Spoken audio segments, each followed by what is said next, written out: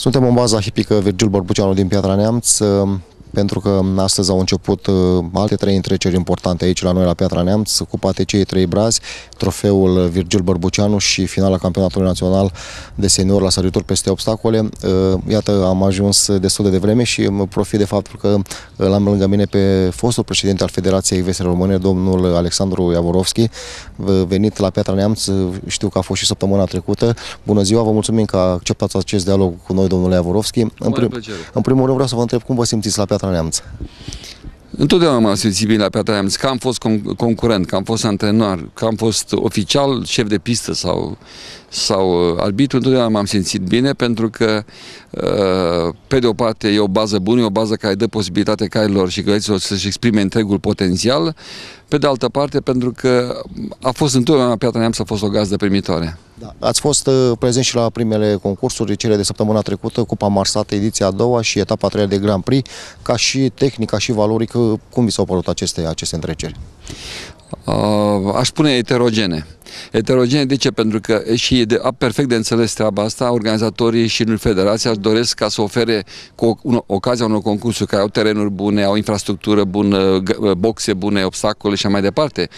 Atunci sigur că încearcă să ofere astfel de, de condiții tuturor călăreților. Și atunci am avut și călăreți debutanți, amatori, copii uh, și sigur călăreți maestri ai sportului care au făcut cinste României în ultimele două decenii, cum e Ilioi, cum e Cojocariu, îl avem aici și pe Norbert Schumann. Și atunci, sigur, este eterogenă.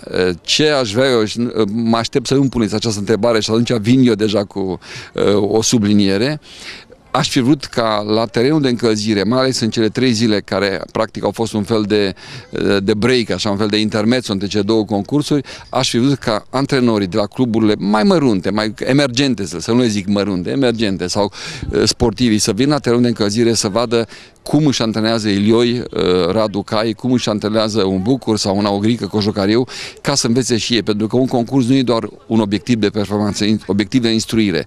Dacă ei nu înțeleg treaba asta, atunci mă tem că la, urm, uh, la urma urmei uh, vom avea din ce în ce mai mare diferența între nivelul călăriei europene și mondiale și nivelul călăriei din România, pentru că am avut 4-5 călări de mare valoare care au fost oricând și la ora asta ei sunt competitivi și sunt uh, competitivi compatibili cu mari căreți ai Belgiei, a Germaniei și ai Franței și mă tem în, în contextul acesta în care uh, e foarte bine că avem foarte mulți. Piramida este uh, cu atât mai valoroasă cu cât baza este foarte largă.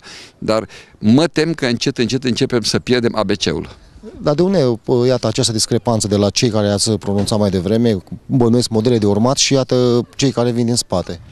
Uh, vă spun și o să fac o legătură și cu ce se întâmplă în momentul ăsta, o, o mică tragedie, nu vreau să fiu patetic, dar o mică tragedie, faptul că se pierde, e, e riscul să pierdem o astfel de bază, este faptul că dacă până acum uh, două decenii pe vremea când se creau acești călăreți, cum e vorba de Ilie Cojocariu, Bucur, Gheorghe Claudiu, Schumann și alții, uh, alți câțiva, nu foarte mulți, uh, ei au fost formați de niște cluburi, uh, Fanion nu numai în călărie, știți bine foarte, Steaua, Dinamo, cluburile CSM Craiova, care practic erau o continuare, ce, scuze, ce, și Craiova, dar în special Sibiu, continuarea școlii de cavalerie de ofițeri activi uh, din Sibiu. Uh, deci toți acești sportivi veneau uh, cu o, o întreagă uh, pedagogie luată de la uh, corifei care făcuseră carieră inclusiv aici la dumneavoastră ați avut pe Bărbuceanu.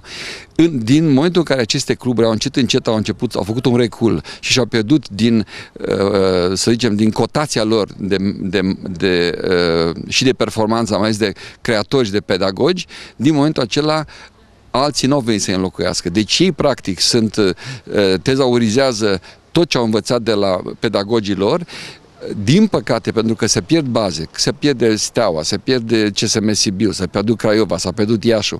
În condițiile acestea, uh, din, din păcate, nu se creează uh, noi generații de călăreți în același tip de foarte buni monitori sau antrenori și mai departe. Cred că aici e fractura. Da, uh, pentru că ați enumerat pe aceștia Radu Ilioi, Aurel Caujocariu, Norbert Schumann, unii dintre ei plecați chiar de aici la Piatra Neamț pot concura cu rezultate bune și în concursurile de afară? Potențialul lor le permite, fără discuție, fără discuție. Eu am văzut și am fost mândru atunci când am fost un oficial sau chiar am fost antrenorul lor sau la diferite reprezentări, când am fost la Balcania, de așa mai departe, cu Radu Ilioiu și cu Fisu am fost inclusiv la finala campionatului de copii, tocmai la Los Angeles. Deci s-au obținut niște calificări importante. Nu, nu e decolea să te duci până la Los Angeles cu Raul Ilioi în 2005 sau în 2004, nici mai țin minte, parcă e o veșnicie de atunci. Uh, dar cum bine știți, sportul ăsta uh, uh, e atât de frumos și în același timp complicat, pentru că vorbim de cal și călăreți. Așa cum uh, uh, în momentul ăsta Vettel la Formula 1 nu mai are valoare pentru că nu mai are motorizarea pe care o avea acum un an sau doi și acum din toată Mercedes-ul i-a luat caimacul și Vettel nu ce poate să mai fie campion mondial în condițiile în care el este, are un potențial de campion mondial. Iată că nu poate. Acea lucru și aici. Ce poate să facă Aurică, Radu, Norbert, Gheorghe Claudiu sau oricare, sau Ursache dacă n-au niște cai sub ei, uh, niște Mercedes-uri. Fără Mercedes-uri, cam complicat. Da, ați pomenit de Ionuț Ursache. Este poate un sportiv mai tânăr decât cei pe care ați menționat mai devreme, care poate arunca și el în acest, în acest clasament al uh, sportivilor de valoare din, din România? Uh, vă spun ceva, pentru mine personal, pentru, el reprezintă o surpriză. El în perioada junioratului și chiar în, în să zicem, în senioratul timpuriu, n-a fost pentru mine un călăreț de, de emblematic. Mi se părea că e un călăreț între ceilalți. Un călăreț, călăreț corect, un călăreț cu anumite deprinderi și atât, punct. Și iată că de 2 ani de zile se ilustrează ca un călăreț care într-adevăr poate să se bată de la egal la egal cu acești călăreți care într-adevăr au făcut istorie în ultimii, ultimele două decenii. Da. Domnule Alexandru Javorovski, din câte am înțeles, ați fost și ați lucrat și la Federația Turcă de, de, de Călărie. O comparație așa între, să zic, echitația de acolo și cea de la noi, e diferență mare? Sunt bani mai mulți? Sunt cai mai valoroși? Ha, istoria e foarte lungă. Dacă jocurile Balcani a început în 1968 la Ankara și vreau să vă spun că între 68 și 88, ora exactă în Balcani a dată de România și Bulgaria. alte țări erau, asistau la acest duel, câteodată aș putea spune fratricid, mai ales la probă completă era chiar fratricid, dar astea erau cele două țări care, într-adevăr, federații care făceau uh, regula în, în sportul călare. În momentul în care a apărut și la noi economia de piață, iar pe de parte am asistat la reculul cluburilor importante, Fanion, Steaua, Dinamo, toate CSM-urile astea care am povenit, Sibiu, Craiova, Iași, Lugoj, din, din acel, și chiar un recul din punct de vedere al crescătoriei naționale, brusc ne-am trezit în situația să concurăm cu niște sportivi care își cumpărau cai de pe piața belgiană, olandeză, germană. Și atunci, brusc, turcii, grecii, aceste două țări în momentul ăsta în top în jocurile balcanice, știu că au devenit din ce în ce mai uh, performanți, pe de o parte. Deci, uh, în timp ce noi am, făcut, am început să facem facem, să regresăm, ei au progresat. Și atunci s-au inversat, s-a inversat polarizarea asta de care vorbeam. Pe de altă parte, însă, cu bine ați spus, chiar întotdeauna o întrebare conține și răspunsul. E o de bani. Vă dau un simplu exemplu. Eu am plecat de la Federația Română în 2009 și am lucrat 5 ani de zile în Turcia. În primul an de zile am, am fost șocat. Eu lăsasem Federația Română cu un buget de 50.000 de euro și am ajuns la Federația Turcă cu 2 milioane de euro. Ăsta e răspunsul pentru diferența, da? Cam atâta cred că este suficient. 50.000 de euro, plecam de la o federație cu un buget de 50.000 de euro și am ajuns la o federație cu 2 milioane de euro. Bine, nu mai lucrați acum în Federația Română de, de Echitație, însă a crescut bugetul la noi? Suntem pe un pas pozitiv, să zic așa? Uh, trebuie să, din câte am înțeles, foarte greu. Am înțeles că foarte târziu, nu știu am înțeles că Ministerul Sportului a, a făcut foarte târziu bugetul. Am înțeles că inclusiv s-a cerut federațiilor uh, un, un draft de, de, de buget și foarte târziu, prin luna martie, aprilie, nu știu exact, nu sunt la curent. Uh, m-am detașat de aceste probleme de management, sunt mai mult implicat în probleme de educație, dar Ceea ce m-a surprins este că la ultimele evenimente la care România a participat, Federația s-a implicat în mod financiar și este vorba de Balcaniada de dresaj în care am fost inclusiv, uh, să zicem, alături de echipă. Eram arbitru, eram în același timp și alături de echipă. Am văzut că și la europenele de obstacole au fost uh, luna asta la Arezzo.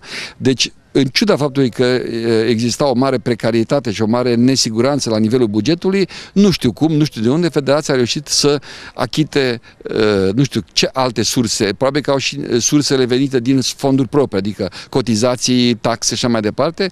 Cert este că am avut plăcuta surpriză să văd că Federația a susținut financiar, aș putea spune integral, vă spun la Novi Sad, cazare, transport, înscriere în concurs și nu e de colea înscrierea de, în taxa de înscriere, a fost plătită de federație.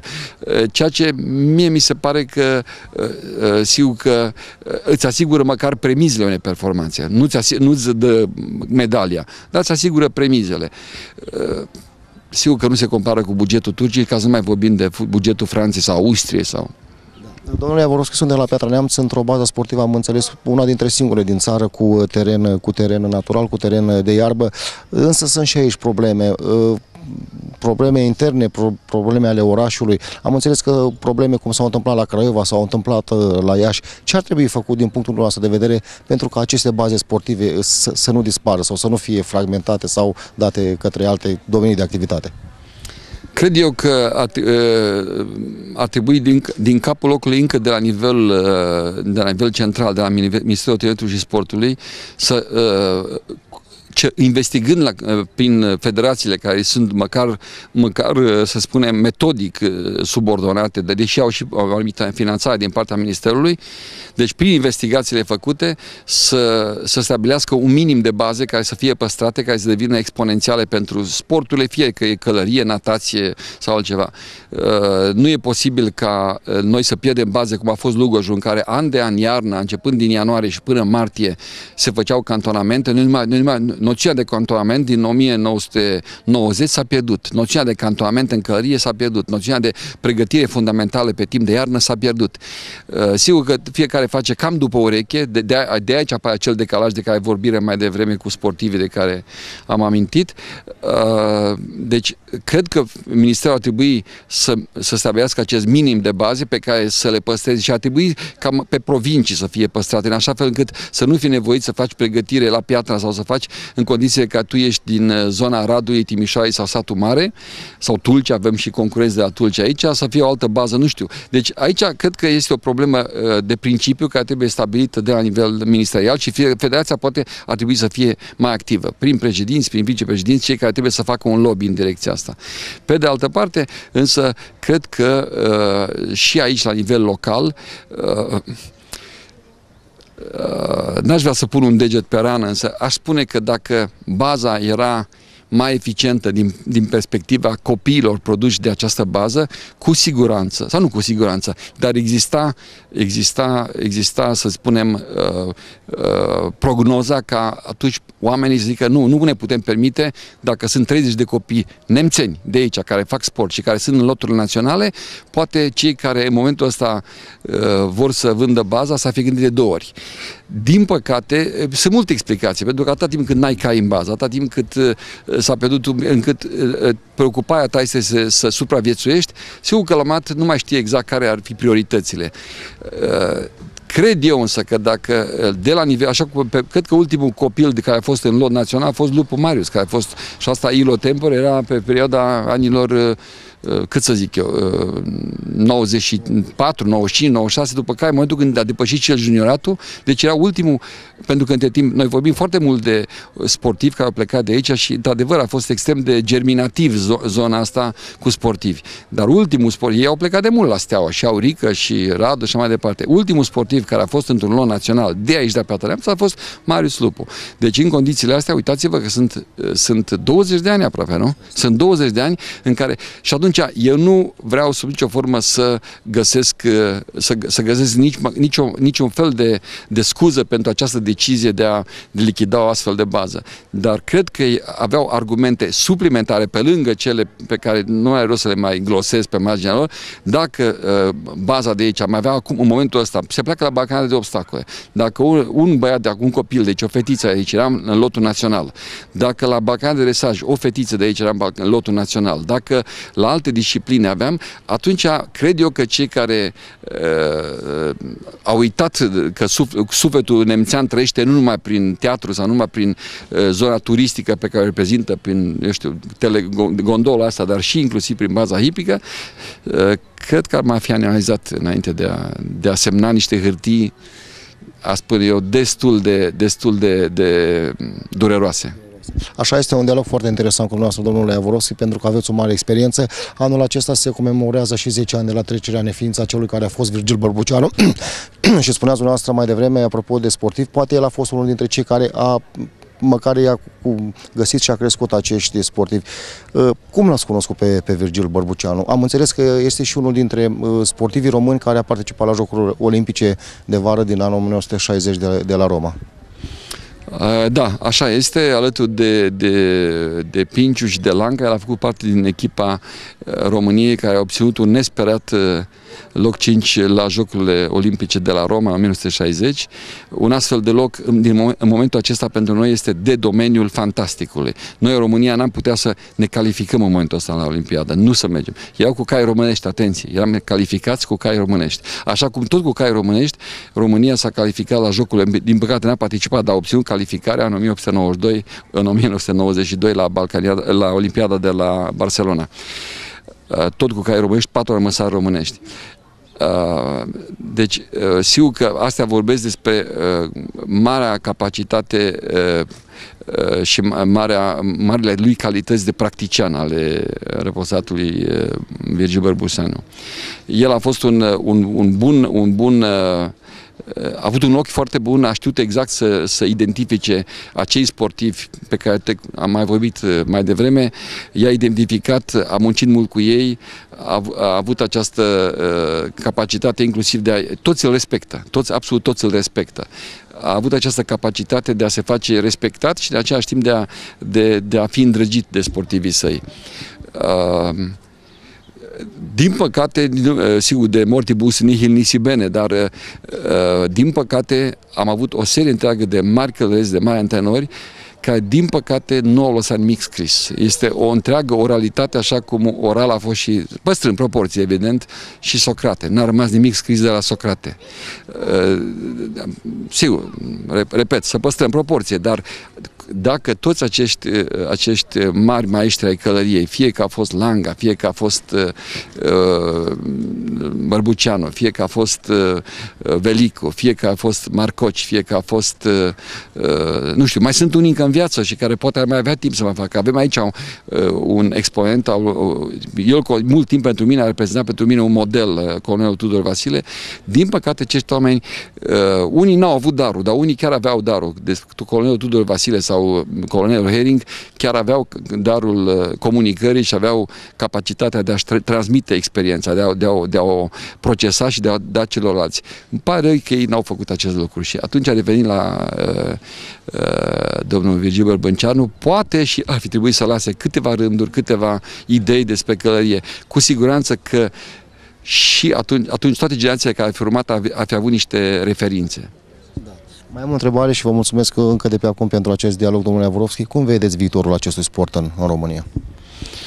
El se va dezvolta pe măsură ce România va, ă, își va căpăta starea de normalitate și când spun normalitate mă gândesc că înțelegi la ce mă refer, ă, dar aș zice înainte de orice normalitatea economică. În momentul când oamenii nu vor mai fi preocupați cu ce își plătesc dările, cu ce își plătesc ă, coșul zilnic, cum se spune, dacă școala nu va mai fi o problemă, dacă vacanțele nu va fi o problemă, dacă faptul că n-au niciun, faptul de a avea un, un laptop sau de a avea un telefon bun sau de a avea o mașină bună nu mai este un lux, este, este ceva firesc. Dacă uh, uh, consumul sau, în fine, uh, plinul la o mașină nu va fi pentru ei o întreagă uh, ratare a unei vacanțe, atunci cu siguranță vor investi și în cai și atunci poate vom ajunge și noi, nu la nivelul Olandei, măcar la nivelul Turciei pentru că mai, niciun sport nu este atât de mult uh, legat de calitatea vieții decât echitația. Poate Formula 1 eventual. E, mult, uh, uh, e o experiență, uh, uh, performanță extraordinară ce au făcut fetele junioarele de la handball sau Simona Halep. Toată lumea spune cât a muncit fata asta și cât a... Dar gândiți-vă, a, a, a cumpărat o rachetă, a cumpărat două, a cumpărat trei, s-a deplasat încolo și încolo pe cheltuiala părinților. Dar gândiți-vă ce înseamnă să cumperi un cal, de 100.000 de euro ca să, ca să te bați, să, ca să încerci să ajungi la, în, într-un, într-un top, îți trebuie cal de 100.000 de euro. Un cal care nu e o rachetă, nu e o bicicletă și nici măcar o mașină de Formula 1. E un cal care zilnic îți face consum. Deci, de-aia vă spuneam, în momentul când calitatea vieții și când vom, aj- vom ajunge la, la acel nivel de trai care va putea permite să facem călărie, atunci cu siguranță uh, performanța va veni. Din păcate, în acest moment avem foarte mulți căreți talentați care nu au această șansă și ei vor rămâne niște căreți anonimi, tocmai pentru că nu își pot permite să dea 50, 60, 100 de mii de euro ca să-și cumpere un cal să meargă la europene sau la mondiale. M-ați făcut puțin curios de asta, mai am o întrebare. Ați pomenit de Vettel, de Formula 1. Sunteți un pasionat al acestui sport? Nu, sunt pasionat al tuturor sporturilor. Vă mulțumesc frumos, uh, ședere plăcută la Piatra Neamț și un concurs, să zic, cât mai reușit. Mulțumesc! Mulțumesc frumos,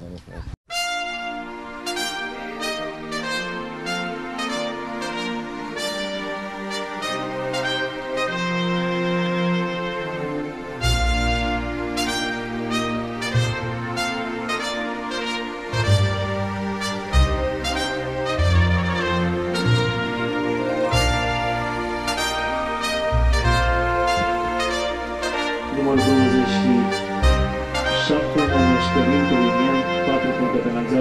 Ludwig Schössig. Continuăm, prieteni, dialogul în baza hipică Virgil Bărbuceanu după un dialog uh, mai mult decât interesant cu fostul președinte al Federației Române uh, de Echitație sau Federația Ivestre Română, Federația Ivestre Română, domnul Alexandru Iavorovski. Stăm de vorbă cu unul dintre cei mai importanți sau exponențiali sportivi uh, din această disciplină, Aurel Cojucariu, un sportiv născut în județul Neamț, un sportiv care acum activează pentru clubul Steaua București, bănuiesc că de mai mulți ani, însă domnia sa ne, ne va da mai multe detalii. Bună ziua, vă mulțumim, domnule Cojocariu, că ați acceptat acest dialog. În primul rând, v-aș întreba cum vă simțiți la Piatra Neamț? Cum? Ca de fiecare dată mă simt foarte bine, vin cu mare plăcere, mai ales că eu am plecat din acest club uh, unde am activat în jur de 4 ani, aproape 5 ani, după care am uh, mers la Clubul Steaua și mi-am continuat activitatea acolo. Cum a fost să zic anii petrecuți la, la, la Clubul Steaua București? Bănuiesc că sunt aproape 20 de ani, mai mult. Uh, nu sunt chiar mulți. Uh, ca și angajat am fost timp de 5 ani la Clubul Steaua ca subofițer, după care au apărut cluburile particulare, am mutat la Hermes Slobozia și am revenit ca uh, membru al clubului doar ca participant, nu ca și angajat al Clubului Steaua. Nu sunteți și antrenor la Clubul Steaua? Bineînțeles, sunt și antrenor și sportiv. Asta da. se întâmplă de vreo 15 ani. Da. Cum a fost uh, primele două concursuri, Cupa Marsat pentru dumneavoastră și uh, uh etapa de Grand Prix? Pentru mine pot să spun că a fost cel mai bun concurs, am avut concursuri mai bune anul acesta, la Cupa Marsat nu pot să spun că a fost uh, nici eu, nici Cai în cea mai bună formă. Să sperăm că la finală să avem rezultate mai bune. Câți cai, uh, cu câți cai sunteți prezent aici? Eu sunt prezent cu 5 cai, particip la, la toate nivelele. Spuneați că ați crescut aici la, la clubul din Piatra Neamț, din câte am înțeles ați și pus bazele înființării acestui club. Ce ne puteți spune despre? despre? Da, ce pot să vă spun? Trebuie să încă o dată să mulțumim răposatului Virgil Băbulceanu, Dumnezeu să-l odihnească, la inițiativa dânsului și a domnului Pachițeanu, la vremea aceea directorul Direcției Agricole din Piatra Neamț.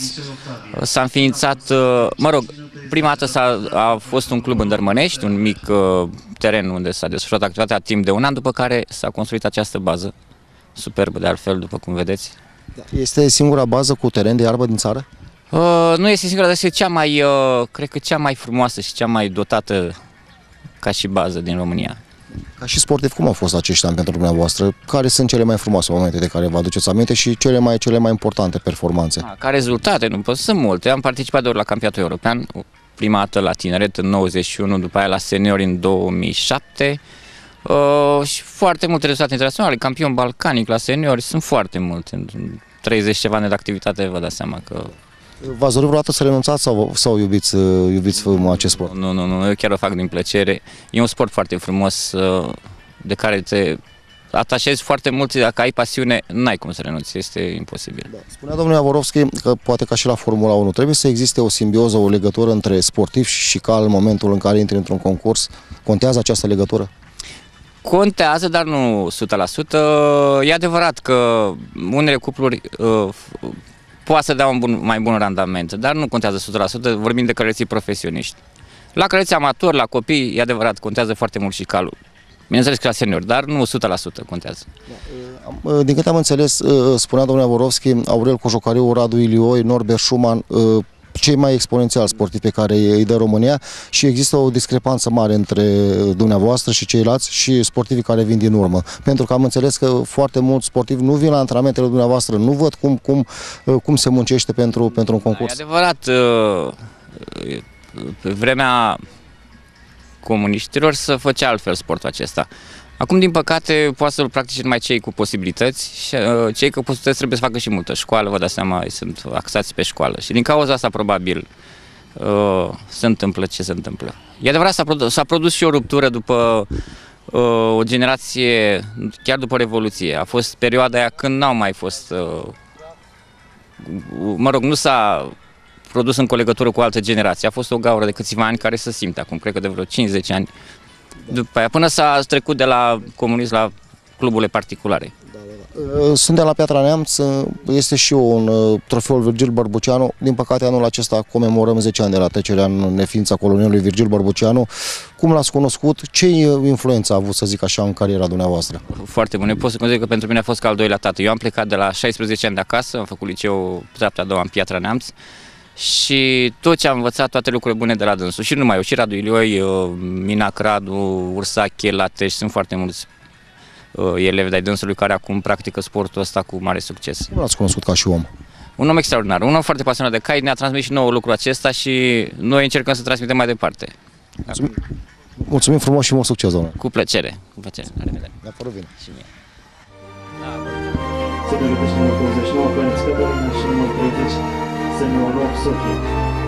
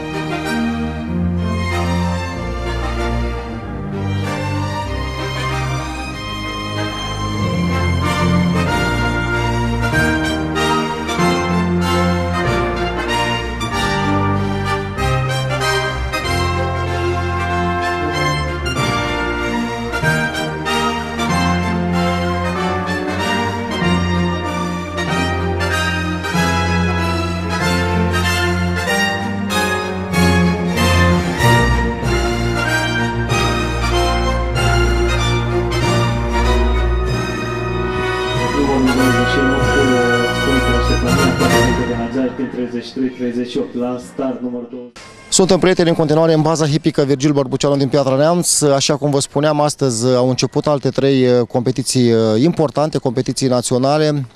Uh, Ediția 5 a Cupei TCI 3 Brazi, trofeul Virgil Bărbuceanu aflat la ediția cu numărul 10 și finala campionatului național de senior la sărituri peste obstacole. Am să de vorbă cu foști, să zic, sportivi care au plecat de aici, cu domnul Iavorovski, fostul președinte al Federației Ecvestre Române. Iată, acum stăm de vorbă și cu o domnișoară, cu te rog frumos să, să te prezinți. Bună ziua, sunt Irina Matescu, am aproape 14 ani, fac în septembrie. Călărie de câți ani faci, Irina?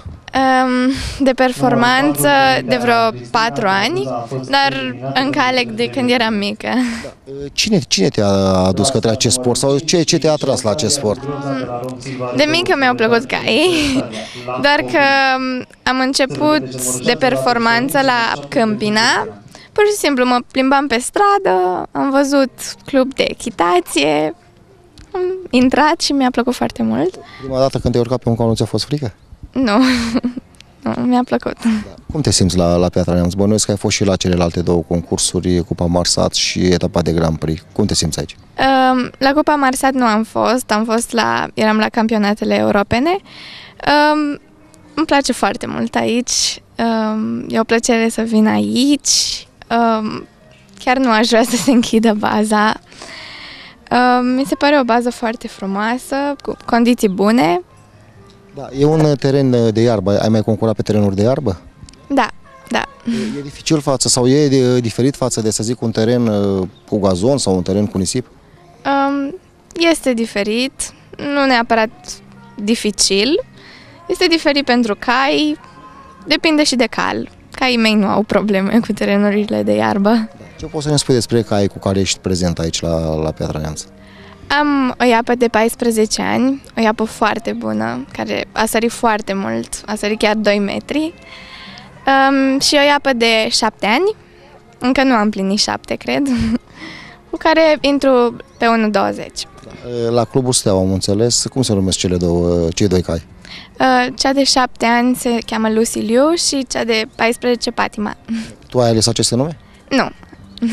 Irina, spune puțin, care sunt cele mai frumoase performanțe pe care le-ai realizat până acum sau de care ți aduci tu aminte cu, cu mare plăcere? Um, păi, vicecampioană națională în 2012 la sărituri peste obstacole, campioană națională în 2011 la dresaj, um, locul 8 în finala mică la europene. Um, anul acesta am um, anul trecut, de fapt, am ieșit pe locul 4 la Balcaniadă. Um, Cel mai important concurs la care ai participat, bănuiesc că a fost în străinătate. Care ar fi? Da, campionatele europene, la care am participat și anul trecut au fost în Spania și anul acesta au fost în uh, Italia. Uh, uh, ai emoții când intri în, uh, pe teren cu calul în concurs? Um, la campionatele europene și balcanice, da, pentru că um, e presiune. Suntem și în echipă și contează foarte mult ceea ce faci pentru echipă. Uh, cât timp te antrenezi într-o săptămână, să zic, sau cum decurg antrenamentele pentru tine? Când am școală, de patru ori pe săptămână, încă aleg doi cai sau trei și în rest în vacanță în fiecare zi. Cine te pregătește? Cine te antrenează? Domnul Aurel Cojocariu. Da. Cum, cum, e, cum e ca antrenor? Bănuiesc că poate ști rezultatele lui, performanțele lui, cum e ca antrenor? Um, este unul dintre cei mai buni călăreți din țară. Um, este un antrenor foarte bun. nu țipă. Aici, la Piatra Neamț, a câta oară ești prezentă? Mai ții minte? Sincer, nu. Cred că a șapte oară. O să dorești să mai revii? Da. Mulțumim frumos și mult succes! Mulțumesc și eu! La start numărul 30 se numără Sofia Curent, de la Politic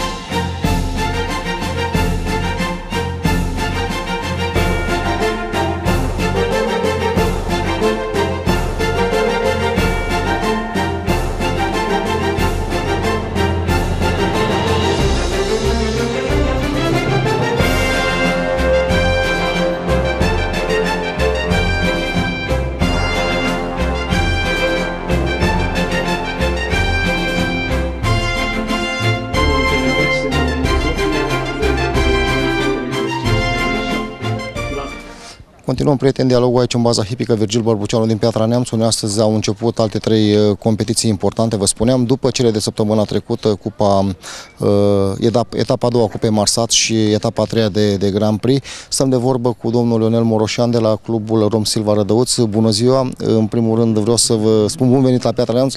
Uh, din câte țin minte, pentru că am și um, scris despre rezultatele de la celelalte două competiții, dacă nu țin o bine minte, ați reușit câteva rezultate frumoase. Ce ne puteți spune? Da, bună ziua, în primul rând. Sigur că da, la concursul anterior am uh, obținut uh, câteva locuri fruntașe, care au mers foarte, foarte bine. La Piatra Neamț ne place întotdeauna de mic copil, întotdeauna nu am lipsit la nicio competiție din această bază frumoasă și având în vedere că suntem și cât se poate de aproape, de la Suceava, Rădăuți până la Piatra Neamț nu e o distanță foarte mare, venim tot timpul cu mare drag și mare plăcere în această bază. Mai fost acasă între cele două concursuri sau ați rămas aici? Am uh, făcut doar o mutare de cai, am dus doi cai tineri care nu-și aveau acum probele în, uh, în această competiție, dar am lipsit uh, două zile, luni și marți. Da. Domnul Ionel Moroșan a spus că vă simțiți bine aici. Ce ne puteți spune despre clubul pe care, pe care îl conduceți? Deci Clubul Rom Silva este un club foarte mare, un club foarte puternic, cu foarte mulți cai de valoare și ce să spun, decât că sunt mândru că sunt unul din membrii din sportivii clubului Rom Silva, nu pot să spun decât că sunt foarte, foarte mulțumit și mândru de mine și de clubul pe care îl, pe care, pentru care concurez și pentru care trag pentru rezultate. Da, am văzut și acum la acest concurs de copii și de debutanți. Câți sportivi aveți aici? Cu câți cai sunteți prezenți? Da, noi de la Clubul Rom Silva, suntem de la Club Rom Silva Rădău, suntem uh, cu un număr de 10 cai. Uh, copii, patru copii care uh, sunt în al doilea an de concurs și în primul an de concurs, junior debutanți, destul de mulți copii și cai, deci avem, uh, avem de lucru toată ziua. De ce ați ales, domnule Moroșan, echitația? Un sport, să zic, uh, costisitor, un, scor, un sport în care se, se cheltuie mulți bani? O întrebare grea.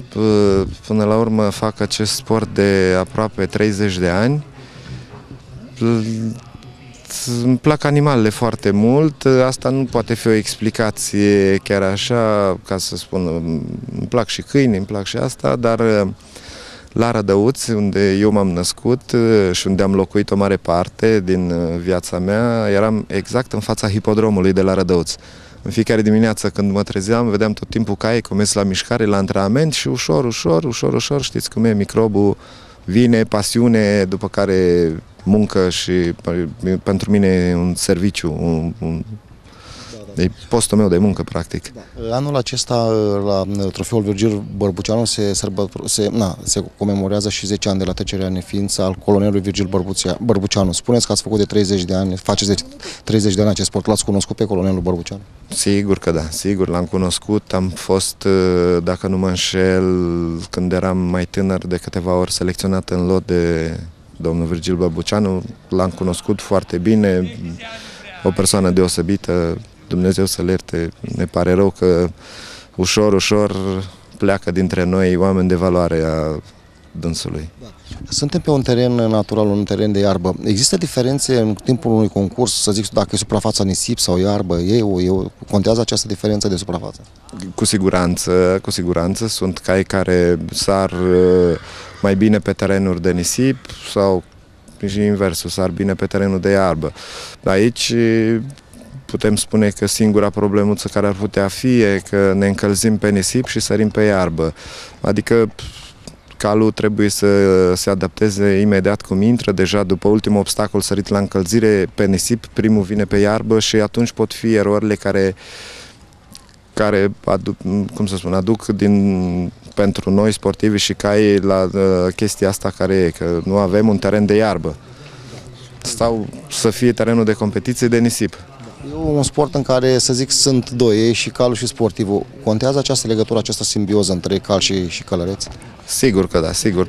Practic trebuie să fie unul și același, fie călărețul sau calul. Deci trebuie să fie împreună cu calul, orice ar fi, să formezi un cuplu corect și să ai o reușită într-o competiție, trebuie să înțelegi foarte mult calul, la fel și calul să te înțeleagă, să aibă încredere deosebită în tine și tu la rândul tău un cal și se numește cuplu. Asta se numește cuplu. Când ai format un cuplu corect, un cuplu bun, este și rezultatul. Da. Mai am o întrebare.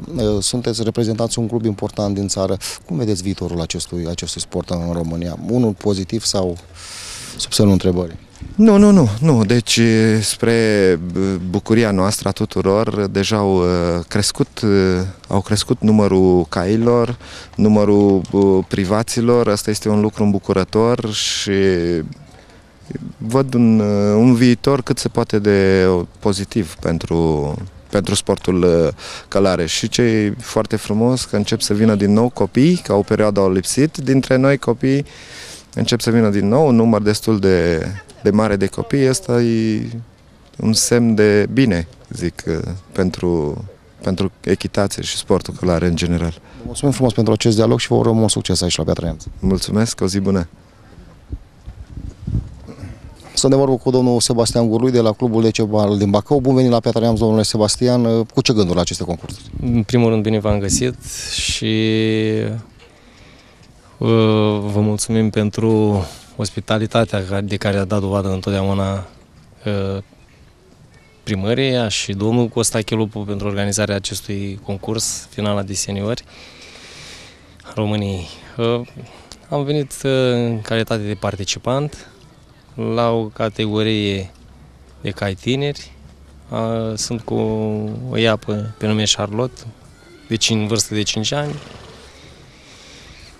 Ne pregătim pentru finala de cai tineri care va fi anul ăsta la Sibiu, am înțeles. Și ne bucurăm de soare, de ambianță plăcută și de spectatori sperăm să vină cât mai mulți, număr cât mai mare în weekend. E un teren de iarbă, e diferit față de un teren de nisip la un concurs?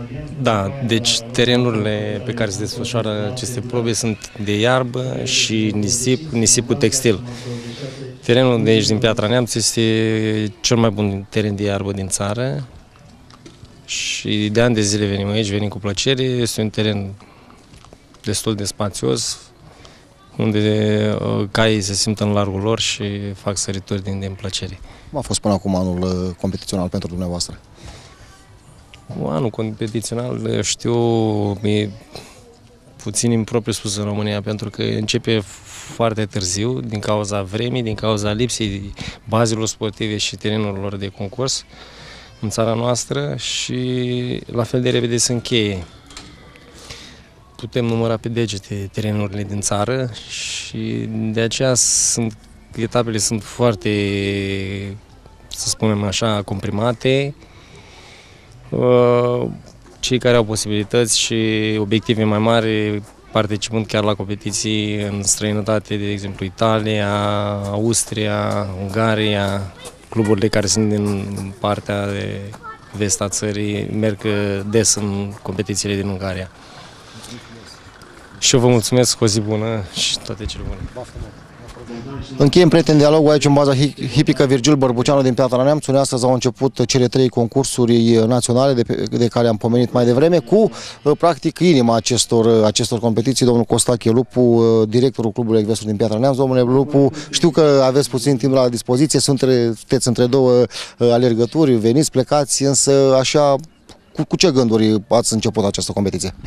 Noi, ca de obicei, orice competiție începem uh, cu cele mai frumoase, mai nobile și uh, cu nădejdi că vor fi rezultate frumoase, vor fi rezultate spectaculoase chiar și din uh, ceea ce s-a întâmplat săptămâna trecută la Cupa Marsat, pentru că sunt cam aceiași sportivi și săptămâna aceasta, bineînțeles că au mai venit uh, o parte din seniorii care au fost plecați în afară la alte concursuri și cu siguranță aceștia vor ridica uh, nivelul uh, calitativ, tehnic al tuturor celor la alte probe care urmează să se desfășoare, mai ales în cursul uh, zilelor de sâmbătă și duminică, când se vor pune la bătaie toate titlurile. Este vorba de titlul de campion național, este vorba de uh, trofeul Virgil Bărbuceanu și Cupa TCE Trei Braz.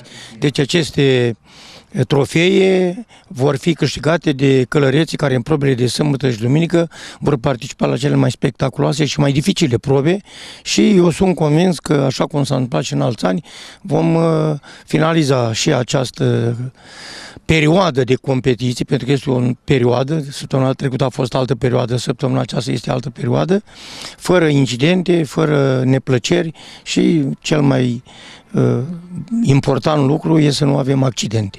Da. Ă, așa cum se știe, anul acesta comemorăm 10 ani de la trecerea în neființă a colonelului, colonelului Virgil Bărbuceanu. Toți cu cei care am stat de vorbă l-au cunoscut, unii mai puțin, alții, alții mai mult. Ă, va fi, se va organiza ceva special cu, cu această ocazie, cu această comemorare? Da, bineînțeles, ă, specială este însă și întrecerea care îi poartă numele și care se va finaliza cu câștigătorul trofeului Virgil Bărbuceanu, iar ca momente să spunem așa, mai solemne la deschiderea oficială a competiției, care se va desfășura în ziua de sâmbătă, probabil în jurul orei 15, și la închiderea oficială, ca de obicei, noi o să îi cinstim memoria printr-un moment de reculegere. Da, spunea fostul președinte al Federației, domnul Alexandru Iavorovski, l-a cunoscut destul de, de bine și spunea că în ziua de astăzi în România nu mai sunt așa de antrenori mari ca și care a fost și sportiv cu uh, competiții uh, susținute în, în străinătate. Uh, mă referea și la Virgil Barbuceanu, el a fost și participant la Jocurile Olimpice de la Roma din 60, unde a venit pe, pe locul 5. Da, este adevărat, călăria românească a avut o perioadă de declin, nu este niciun fel de exagerare în ceea ce spun. Se pare că în ultimii ani au început să se mai revigoreze Uh, aceste aspecte ale sportului ecvestru, în sensul că sunt tot mai mulți copii care sunt atrași de acest sport. Ați văzut și în zilele acestea, la Piatra Neamț, săptămâna trecută și săptămâna aceasta, la probele de copii, la probele de juniori, uh, sunt foarte, foarte mulți participanți și asta este o speranță că sportul călare românesc se va revigora și poate eu știu, în câțiva ani uh, vom uh, avea și noi bucuria să spunem că se vor naște campioni ca aceia care au fost în perioada interbelică și chiar în perioada de după război, generația lui Virgil uh, Bărbuceanu, care, într-adevăr, merită să fie totdeauna cinstită memoria acestor călăreți și noi avem această datorie morală ca în fiecare an să ne adunăm și pentru o săptămână, pentru câteva zile să îi cinstim memoria pentru că merită și așa cum mai spuneam de multe ori, el este considerat și un titor al bazei hipice din Piatra Neamț pentru că a fost acela care a bătut primul țăruș când s-a construit acest important și frumos complex sportiv al municipalității. E grea această perioadă, domnule Lupu, de 5 concursuri în decurs de o săptămână? Noi avem antrenament în ceea ce privește competițiile, însă greutatea vine din altă parte, este presiunea aceasta psihică care ne apasă, având în vedere situația prin care trece acum terenul bazei hipice. Am spus-o de mai multe ori, am repetat-o și ieri când s-a făcut acel marș uh, de protest. Vedeți dumneavoastră, dacă am fi lăsat în pace măcar, Poate nu neapărat să fim ajutați, dar măcar să fim lăsați în pace, altfel ar merge lucrurile. Vă dați dumneavoastră seama, sub stresul acesta din iunie, când a fost scos la licitație terenul și când s-a adjudecat deja la a doua licitație suprafața de 1000 și ceva de metri pătrați, nu este atât de simplu să te concentrezi, să te împarți, așa cum spuneați dumneavoastră, numai între probleme, să faci ca totul să meargă bine, dar deși lucrurile ne apasă, noi suntem optimiști, așa cum am spus de, de fiecare dată și am această convingere și asigur pe iubitorii sportului călare îi asigur pe reprezentanții Federației Evestre Române prezenți la Piatra Neamț, îi asigur pe sportivi, pe antrenori și pe toți ceilalți care însoțesc echipele aici la noi, că ne vom strădui noi organizatorii ca în cele din urmă totul să iasă bine, mai ales că avem sprijinul unor societăți comerciale puternice și a Consiliului Județean care ne-a asigurat pentru trofeul Virgil Bărbuceanu suma de 200 de milioane lei vechi, o parte din uh, premiile care însumează în total 300 de milioane. Deci cu ocazia aceasta eu ar vrea să le mulțumesc tuturor acelor care sunt alături de noi, care au fost și care cu siguranță vor fi în continuare. Vă mulțumim frumos și mult succes! Mulțumesc foarte mult mass media care ca întotdeauna a fost alături de noi.